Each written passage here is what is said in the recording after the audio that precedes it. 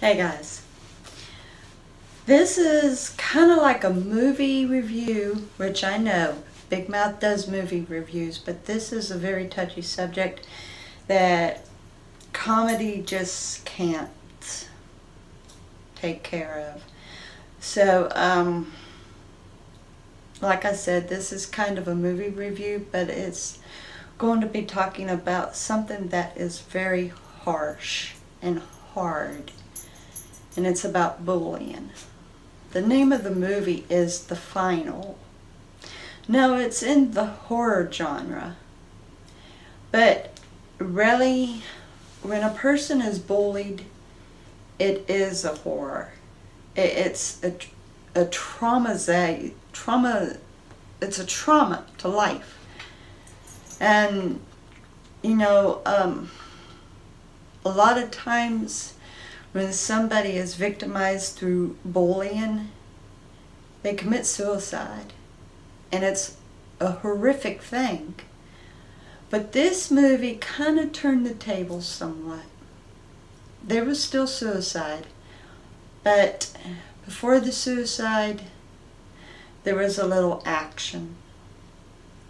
You know, what got me really thinking about it was here's these students who were bullied just because they were different in some way. Either they were somewhat nerdy or just didn't fit in or was of a different race. And they all blended together, you know. And then, of course, there was the jocks and the cheerleaders and the rich and the uppity nose, you know, nobody's better than me type and they were picking on the ones that was different, that didn't fit in. So this group decided to take matters into their own hands. And the sad thing is a lot of times there's a lot of bullying going on and nothing's done about it. There's no paddling. They took paddling out of school, which is a shame. Uh, a lot of times the parents don't do anything about it, just say, ah, kids just being kids. The police really doesn't do anything about it. Not really. Unless they're starting to crack down a little bit, but I kind of wonder about that.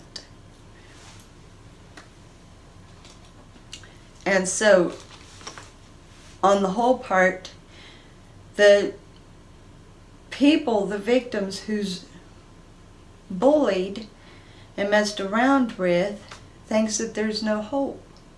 They are brought down low to the point that they feel like they're nobody, like they're worthless, like they're not loved, they're not wanted. And they think, what's the, what's the use of even trying anymore?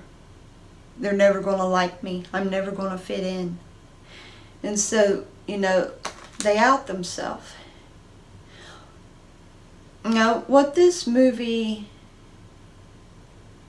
put out, I don't condone, but it kind of makes you wonder, what if?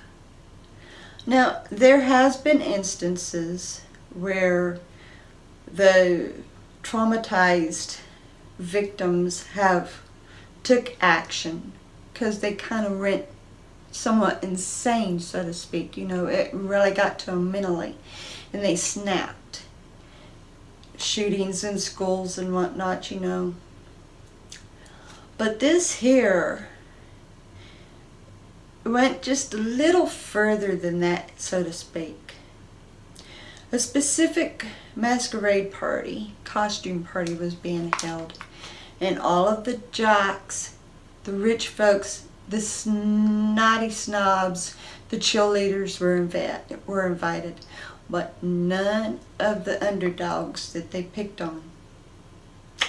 So they came up with a plan to get their revenge.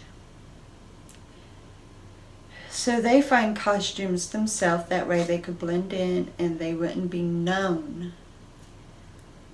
And then they spike the drink so that everybody passes out. And while everybody's passed out, these victims chain everybody together and have them in the center of the floor. when they come to, everything begins. The one that was most insane among those victims was kind of like the leader of those folks.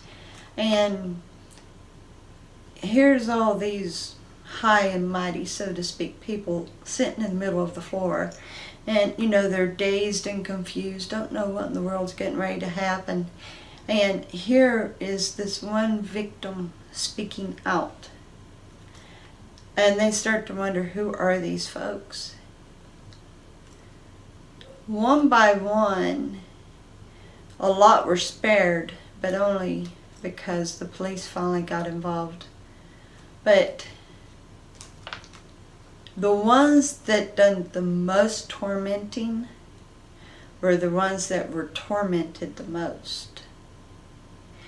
In the end, though, after it was all said and done, things happened to them, and they all ended up dying anyway.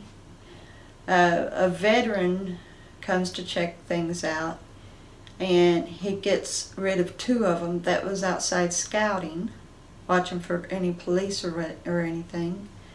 Uh, one of the uh, ones that had showed up at the party happened to have been the victim's friend, and they didn't want him there, but because he showed up, he did manage to get away, and he ran to that veteran's house, and that's when the veteran went to check it out. And, so here's these two individuals on patrol watching for this one kid to come back and for any police and whatnot.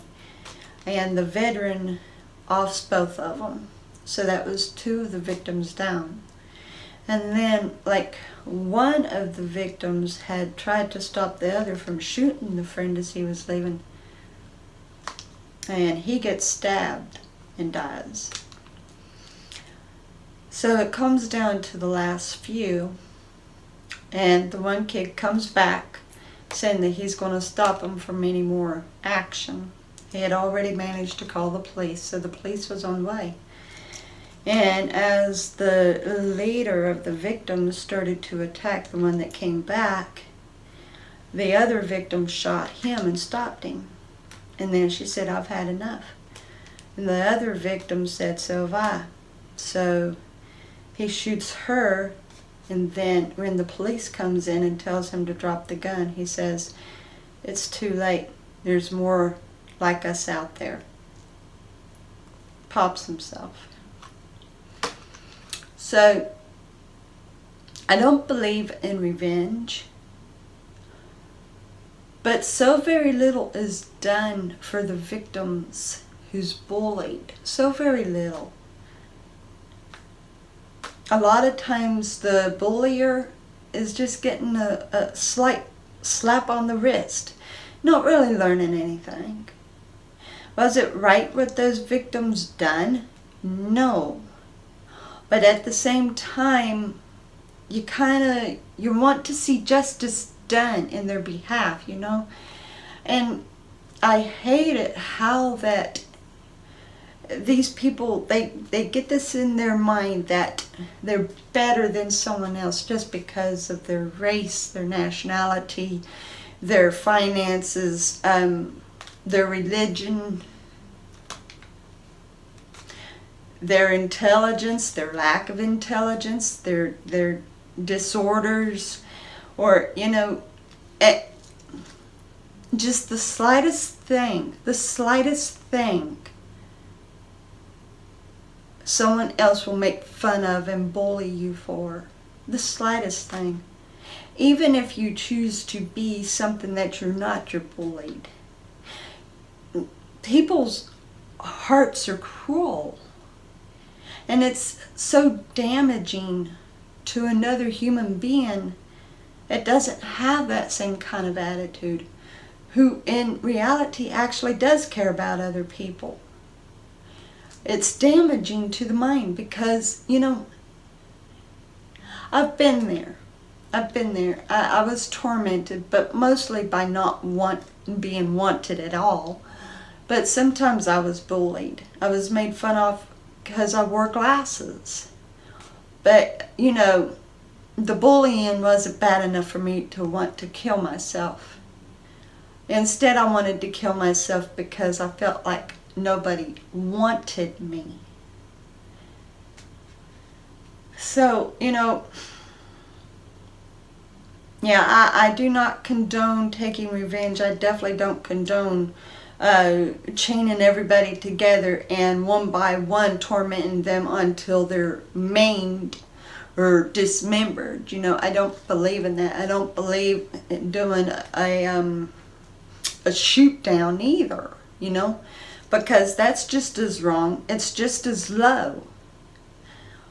But when something snaps in the victim's mind and they feel that they've got to do something in order to survive, it's kind of like a survival mode, you know?